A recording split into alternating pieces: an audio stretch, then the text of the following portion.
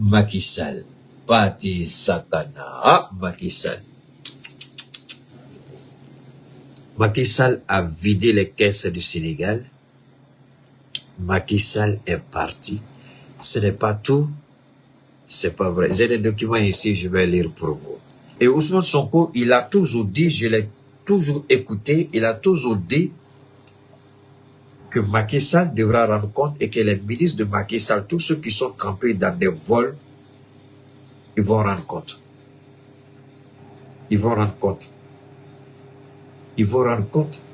Ce à quoi on a assisté au Mali avec Assimi Goïta, avec le capitaine Traoré et le général Tiani au sein de l'AES, nous allons assister à la même chose au Sénégal. Le peuple sénégalais aujourd'hui attend des résultats. Le peuple sénégalais attend. Vache merci. Le peuple sénégalais attend des résultats. Le peuple sénégalais sait qui a volé. Le peuple sénégalais sait ceux qui ont volé le peuple sénégalais, il les connaît. Macky Sall, vous croyez que c'est pourquoi il allait construire un château à Marrakech, au Maroc? Les 12 années du règne de Macky Sall, vous avez une idée de la fortune qu'il a pu amasser? Pourquoi le roi du Maroc a donné 12 hectares à Macky Sall pour construire son château?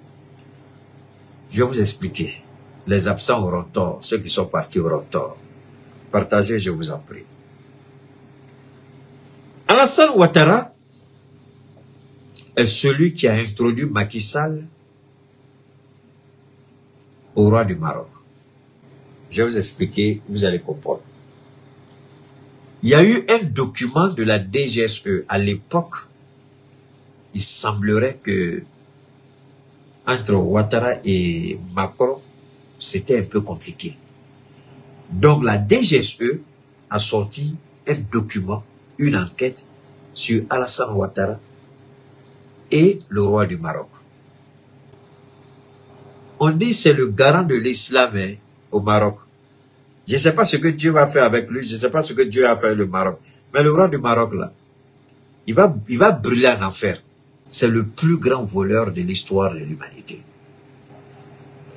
Il a mis en place un système le système de société fictive avec Alassane Ouattara.